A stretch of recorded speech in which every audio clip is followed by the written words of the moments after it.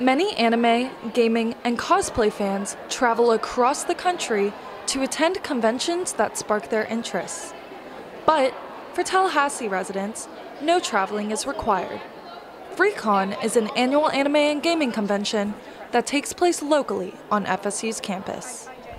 FreeCon, as a convention, it's the very first anime convention I've ever attended, and it helps really bring people from all alternative cultures together and it also helps foster goodwill in the community through Japanese pop culture and manga. The Japanese Animation Club at FSU works tirelessly each year to make sure that FreeCon is both fun and functional. FSU student Rachel Smith is a member of the club and shares with us the process behind organizing this popular event. Before we start running the convention, we have to get all of our merchandise and designs and staff who are interested in helping out first, and then we start filling out the event proposal.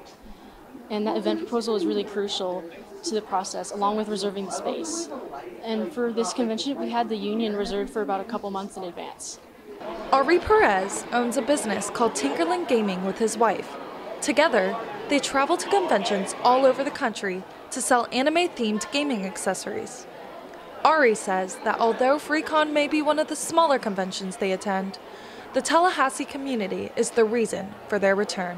FreeCon is something that we actually experienced last year for the first time as, uh, as vendors and anime conventions. It's a very interesting uh, group of people. Everybody's very excited to be at these. And we had a really warm welcome last year with, from the students, so we decided to uh, come back and participate.